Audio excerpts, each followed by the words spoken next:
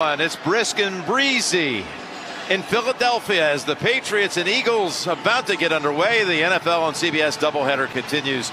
Great to have you with us, Jim Nantz, Tony Romo, Tracy Wolfson.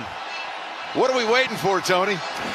we just saw Rocky on the screen. This is a big one, I can tell you. The Eagles need this to stay right there with Dallas, and I think it tells us if the Eagles are for real.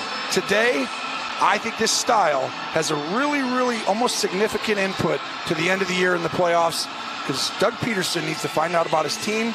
And this style, I'm telling you, Jim, each one's weakness and strength, this is going to tell me a lot if they're going to be able to compete against certain teams in the playoffs. Where's the rematch of Super Bowl 52 from about 20 months back, 22 months back.